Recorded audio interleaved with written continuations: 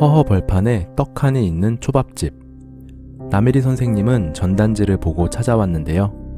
전단지를 들고선 저렴한 회전 초밥이 좋다며 입맛을 다십니다.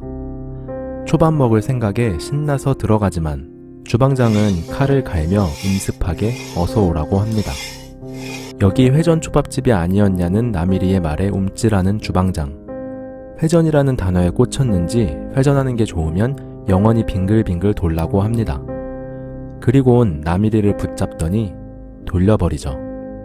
그때 전단지를 보고 초밥집으로 가고 있는 짱군의 가족. 짱군의 가족이 들어오면서 인사하지만 나미리 선생님은 사라졌고 주방장은 역시나 음습하게 어서 오라고 하며 칼을 갑니다. 그 후 짱군의 가족은 회전이라는 말은 쓰지 않고 초밥을 잘 먹는데요. 다 먹고 나서 짱구가 자신은 회전 초밥이 좋다고 말하고 역시나 그 말을 듣자마자 주방장은 돌기 시작합니다.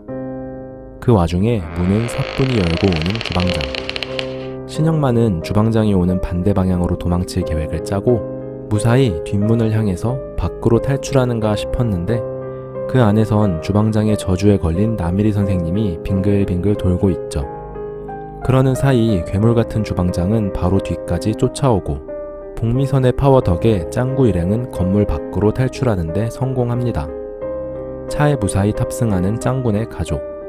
하지만 꼭 이럴 때만 차에 시동이 안 걸리는 불상사가 생기는데 간발의 차이로 시동이 걸려서 도망치기 시작하죠. 하지만 도라도라 주방장은 미친 듯한 속도로 따라오고 결국 자동차는 멈추게 되는데요. 차를 살피러 나온 복미선에게 다가가더니 복미선을 나미리 선생님처럼 빙글빙글 돌려버립니다. 그러더니 갑자기 탑블레이드 마냥 팽이 싸움을 하는데요. 보통 엉덩이가 아니군. 그 후 짱구가 도라도라 주방장의 몸에 매달리자 균형을 잃었다면서 속도가 현저히 줄어든 주방장. 그때를 놓치지 않고 신영만의 발냄새 공격으로 주방장을 쓰러뜨리는데 성공하고 복미선도 돌기를 멈추는데요. 얘는 왜 이렇게 회전이라는 단어에 집착하는 걸까요? 시청해주셔서 감사합니다. 동키무비였습니다.